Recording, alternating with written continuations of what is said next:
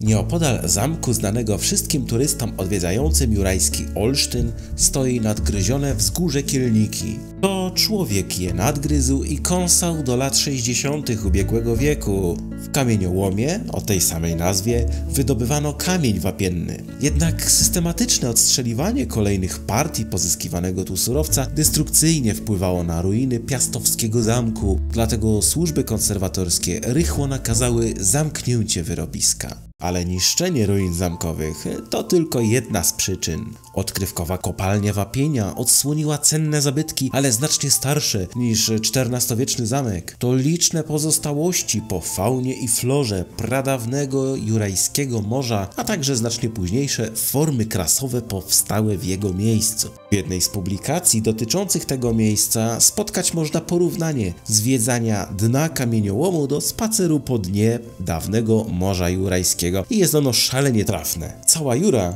to jeden wielki osad szczątków wszelakich istot żyjących w pradawnym Morzu Jurajskim, które tutaj było ponad 200 milionów lat temu. Przez tysiące lat żyły i umierały, opadając na dno morza i przysypywał je osad wapienny zawarty w wodzie, tworząc solidnej grubości warstwę. Kiedy morze wyschło, całość skamieniała i zwietrzała. Można rzec, że górnicy z kamieniołomu Kielniki niemal dokopali się do dna tamtego akwenu.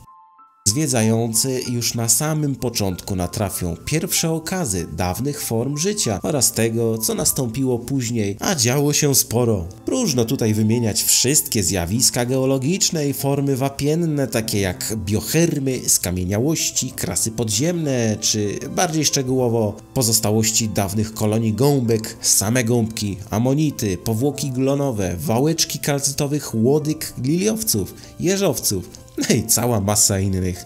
Zainteresowany sam bez trudu wszystko znajdzie i znajdzie również opracowania także na samym szlaku dydaktycznym wyposażonym w liczne tablice edukacyjne z kodami matrycowymi prowadzącymi do dalszych opracowań.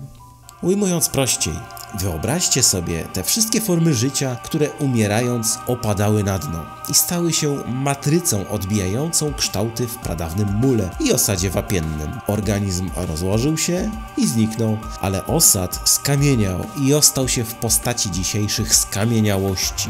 To tak jak foremka wypełniona ciastem do pieczenia. Jurajskie wypieki trwały od 150 do 200 milionów lat. Wszystkie skamieniałości stały się częścią terenu ziemskiego i były areną późniejszych procesów glebotwórczych z naziemnych już osadów.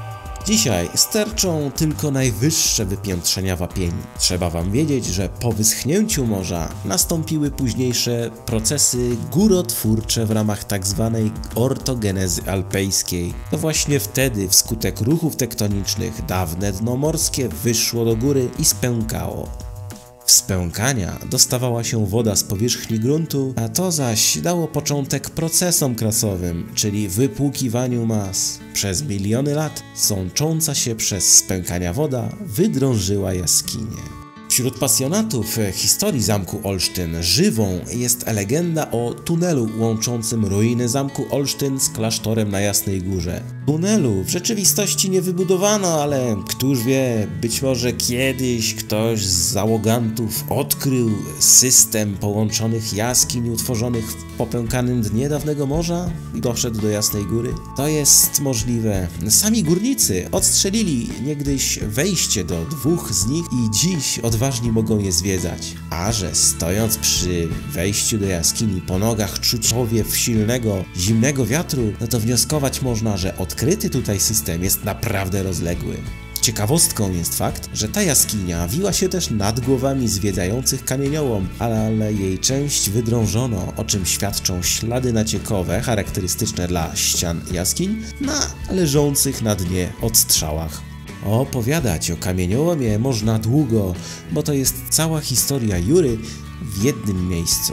Dla jednych to jest zwykła dziura w ziemi z miejscem na biwak i ognisko.